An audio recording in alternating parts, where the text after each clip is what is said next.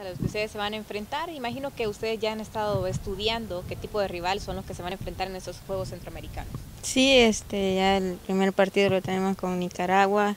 Es un partido fuerte, igual que Costa Rica, y pues esperamos hacer las cosas bien, ya que ellos tienen un proceso largo y pues nosotros pues con el poco proceso que tenemos esperamos hacer un buen papel allá.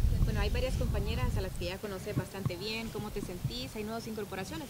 Sí, este, hay bastantes niñas nuevas y pues aquí estamos haciendo el trabajo en conjunto, ya que eso es lo principal en un equipo y pues esperamos que todas le pongamos ganas en, en el torneo. Bueno, ¿y qué han estado trabajando de cara a su debut en estos Juegos Centroamericanos?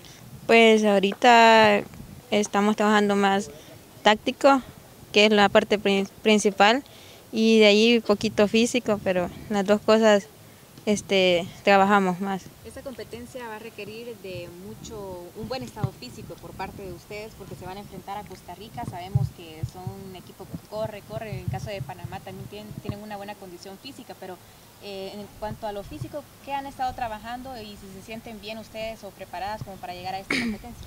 Pues sí, hemos trabajado bastante en eso, ya que este Costa Rica es uno de los mejores equipos de, de ese país y pues la verdad que todo se puede, nada es imposible y esperamos que cada una de mis compañeras pues pongamos de, nuestra parte en el torneo. ¿Cómo, ¿Cómo, visualizan perdón, este primer compromiso ante la selección de Nicaragua?